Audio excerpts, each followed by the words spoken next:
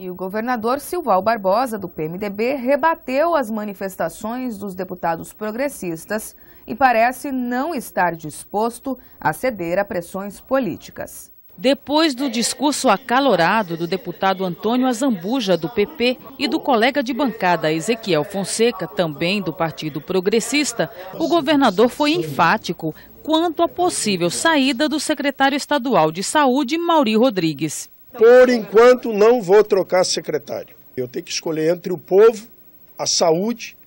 Eu tenho que ter decisão política, gente. Eu não posso é ficar querendo agradar um e outro, ficar trocando, trocando, trocando nomes, não. Eu estou pensando é na gestão. Eu penso no partido, agradeço o partido.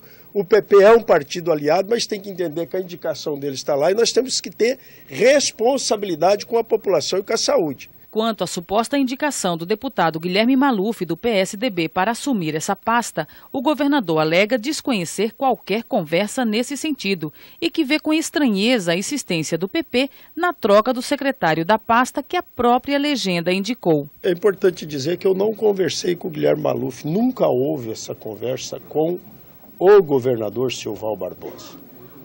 Vamos deixar claro para vocês. E o Mauri ele é o meu secretário de saúde do Estado.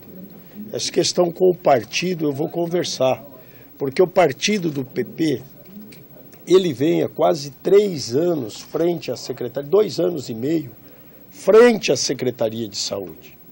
Eu acho muito estranho eles mesmos baterem na saúde que vai mal que está muito ruim, que precisa trocar o Mauri para melhorar a saúde. Para encerrar o assunto, o governador manda um recado. Eu não estou lá com o secretário para atender pessoas e atender ego, não. Eu quero que dê resultado para as pessoas que precisam, que é a população.